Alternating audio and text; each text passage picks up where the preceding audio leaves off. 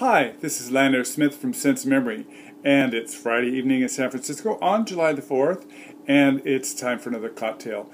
To uh, Tonight's cocktail is something called a uh, cranberry summer, and the ingredients are 3 fourths of an ounce of vodka, 3 fourths of an ounce of Cointreau, uh, 1 and 3 fourths ounces of uh, cranberry juice, 1 and 3 fourths ounces of uh, cloudy lemonade, and I put a little splash of limoncello in there to make it more interesting.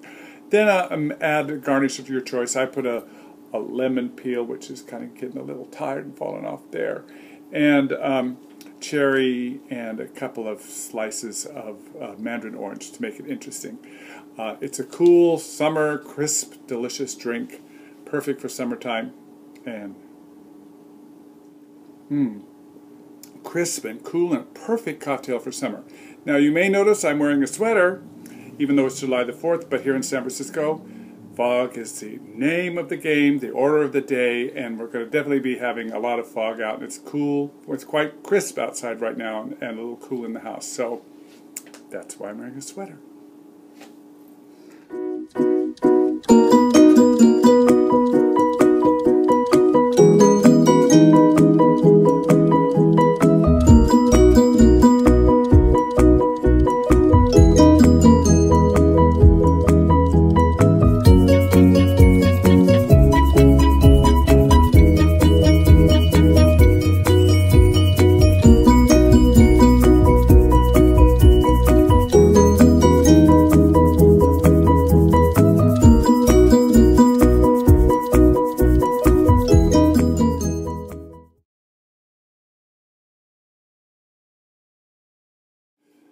We're going to be uh, exploring two new fragrances by the uh, Italian house of Acqua di Parma, and uh, they are Acqua di Parma's um, Colonia Leather Eau de Cologne Concentrate, and the second one will be Acqua di Parma Blu Mediterraneo uh, Ginepro di Sardegna.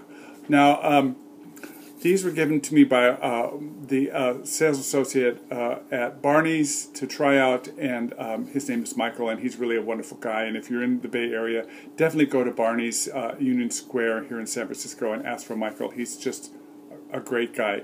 And so let's start off with the uh, with the leather.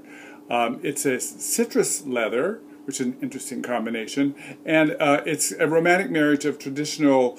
Uh, Acqua di Parma citruses and um, the a rich aromatic leather. It was created in 2014. The top notes are Brazilian orange and Sicilian lime. The mid notes are rose, petitgrain from Paraguay. Just two notes there. And the base is a leather, uh, guaiac wood from Paraguay, and uh, Atlas cedar. Now, Atlas cedar comes from the Atlas Mountains in Morocco. Now, um, you either get your cedar from, uh, usually from uh, the Atlas Mountains in Morocco or from uh, the Virginia cedar in Virginia in, in, the United States. So let's try it and see uh, what we think, or what I think. So here we go.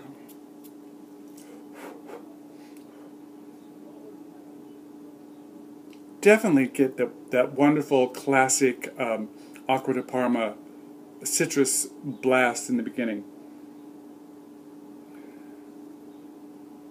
Really is oh, quite fresh and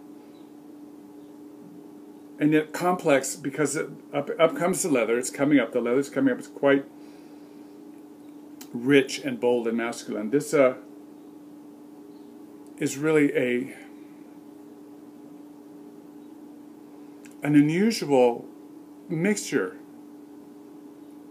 Definitely definitely a, a, a classic masculine um, scent that I think uh, fits right into the Acqua di Parma line and really is a, a, beautiful representation of of what they can do. Definitely takes me back to to Italy and oh god, the smell of uh, of Florence. Florence smells like leather. There, you walk down the street and there are leather. Uh, stalls open in the markets, in the open markets, and there are, of course, Ferragamo shoes, and just Florence is famous for its leather. So this this definitely places me right in the center of Florence. It's really a beautiful, beautiful scent. Brand new, and I definitely think it's something that you might want to try if you're uh, a, a, at all a leather fan. And also if you're a citrus fan. It's a wonderful marriage. Now, the, the next one is um, from the Blu Mediterraneo line. And as I said, it was uh, it's also introduced this year in 2014. Um, it is designed to inspire the memories uh, of the beautiful, rugged uh, island of Sardinia. Sardinia is just an amazing uh, island off of the west coast of Italy, right and, uh, below. this particular uh, fragrance uh, brings to mind the memories or the idea of this incredible rugged landscape. The mountains in certain parts of Sicily just come straight down into the sea uh, with incredible sheer cliffs.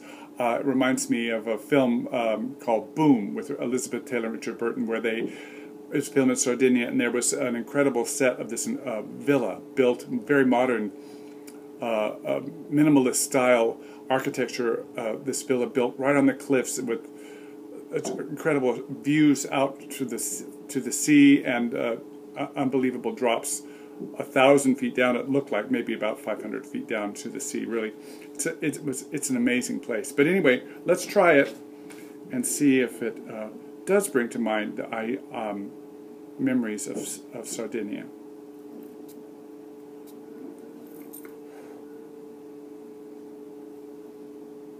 Oh, I'm getting sage, incredible uh, sage. It's also a very fresh, summery scent, perfect for this time of year. Juniper, yeah, the juniper's coming through. Bergamot. Yeah, sage and cypress are the, are the dominant notes that I'm smelling, and it is.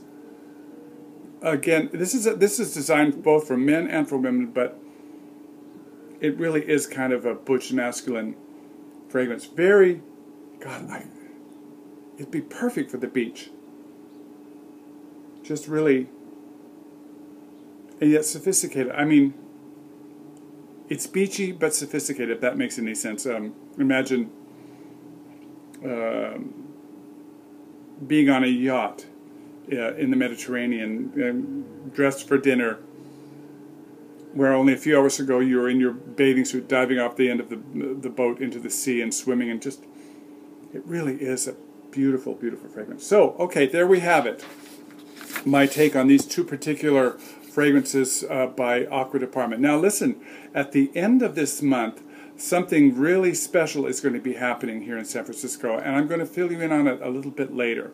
But it's specifically for any of my followers uh, on my blog or here that live in the Bay Area. So stay tuned for that. I'll definitely be giving more information about that. Now the last thing I want to talk about is this wonderful book that I've been reading. I may have mentioned it before, but I just want to go over and let you know about it again.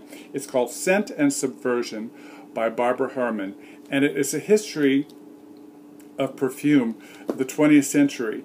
And it is just an amazing book. Um, and I can't uh, recommend it enough for people who are really interested in, in perfume and learning about the history of where it all comes from in the 20th century, from from Jicky all the way up to, to today.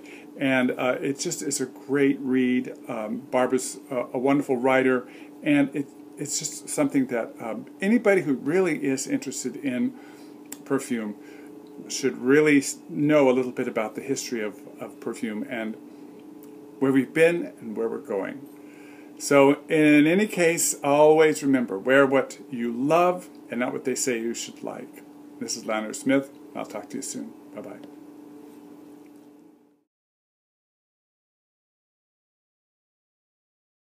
This is and um, the a rich aromatic leather. Um, it was created in 19, uh, 1914. Definitely over harvested in Lebanon. I may be wrong, but that's what I.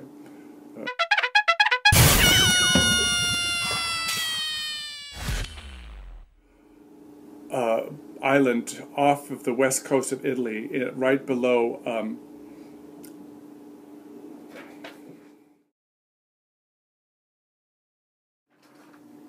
Hi, welcome to another uh, baloney.